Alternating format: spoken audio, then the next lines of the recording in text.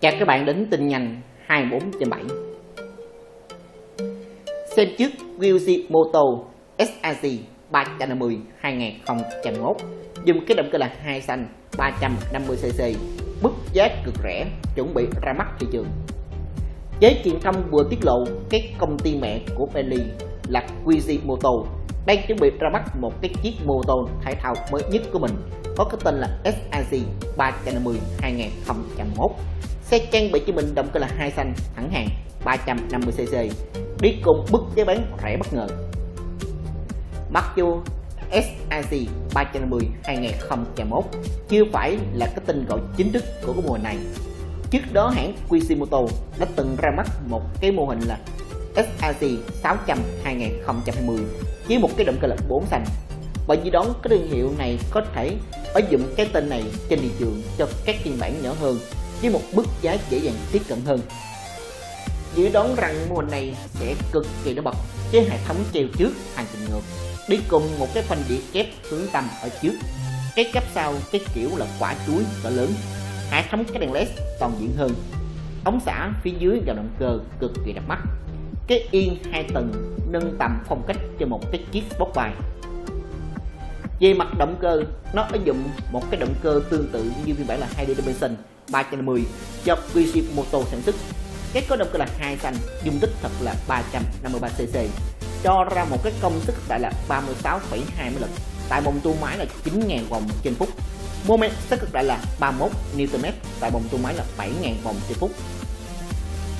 Ban đầu ta có thể thấy cái chiếc SRC 350 2001 chủ yếu tập trung chế trị thị trường Trung Quốc giống như các mẫu xe của Kishimoto khác liệu nó có thể được Bailey phát triển như một tên gọi khác trong một tương lai gần?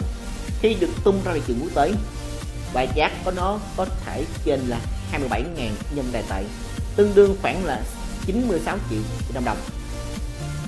Mọi thông tin mới nhất về một cái này sẽ được chúng tôi cập nhật biết tiếp theo.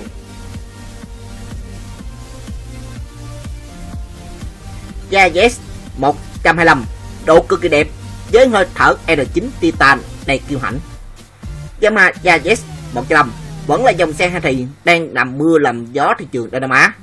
Vừa được bị ngừng sản xuất tại trường Malaysia thời gian gần đây, đã khiến những chiếc xe mới 100% của cái dòng hai thì này đội giá lên tới gần là 300 triệu đồng ở thị trường Việt Nam. Khoác cho mình cái dàn áo tem đấu vô cùng vào cách phần đuôi xe được bỏ đi cái ốp biển số và cái phía bên trong nhìn tự như các dòng xe chạy trường thụ trong những cái giải đua. Bên cạnh đó chủ xe còn trang bị nhiều món đồ chơi từ các hiệu nổi tiếng. Trang bị cộng thắng Acostato, thương hiệu đồ chơi cũng khá nổi tiếng, nhưng khi tự ra cái mẫu Rainbow thì đã được hạ giá và nhập Việt Nam nhiều hơn, thì mẫu tay thắng này dần dần mất khỏi thị trường và còn rất ít người để sở em nó. Đi kèm cùng với bình dầu AM CNC Mini làm cái ổ chứa dầu bổ sung cho heo trước. Cái cụm tăng tốc Domino có nhiệm vụ rút ngắn hành trình da cho xe gia tốc nhanh hơn. Bỏ đi cụm công tắc, sử dụng cái cụm công tắc Honeywish tích hợp đầy đủ những nút. Nhìn xuống trang chân trước thấy được góc ảnh quen thuộc, bộ dầu Rainbow logo nhỏ hai biết xứng được bắt vào vỏ buộc thông qua phát heo, được làm bằng chất liệu nhôm là siêu cứng. Cái đĩa của cà phơ có cái size là 260 mm Lòng đĩa này có bốn cái lỗ phụ hợp với cái mâm Daytona, không cần phải chế lại thất vọng. Cái giảm sau được cải thiện cái sự êm ái hơn rất nhiều nhờ vào chủ xe dùng cái bột Colin bình dầu rời xuất xứ đến thời điểm. Tuy nhiên đa phần được sản xuất cho những dòng phân khối nhỏ để được gia công tại bình Thái Lan.